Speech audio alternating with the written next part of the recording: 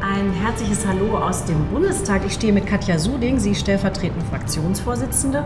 Wir stellen euch heute das nächste Kapitel aus dem Antrag A300 Freiheit durch Emanzipation vor. Und heute soll es um körperliche Selbstbestimmung gehen. Und du hast dich ja sehr eingesetzt für das Thema 219a Abschaffen.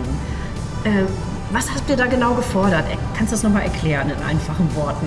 Ja, in Paragraph 219a geht es ja um das sogenannte Werbeverbot für Schwangerschaftsabbrüche, aber da geht es ja gar nicht äh, allein um Werbung, schon alleine die Information darüber, dass ein Arzt oder eine Ärztin Abbrüche anbietet und welchen Methoden er sie anwendet, steht schon unter Strafe. Und äh, ich die Diskussion im Bundestag ging hin und her und eigentlich gab es doch eine Mehrheit, diesen wirklich Uraltparagraphen abzuschaffen. Was genau. ist da jetzt rausgekommen? Genau, wir wollten den abschaffen, hatten auch zunächst eine parlamentarische Mehrheit mit der SPD, mit uns, mit äh, der FDP, mit den Grünen und Linken.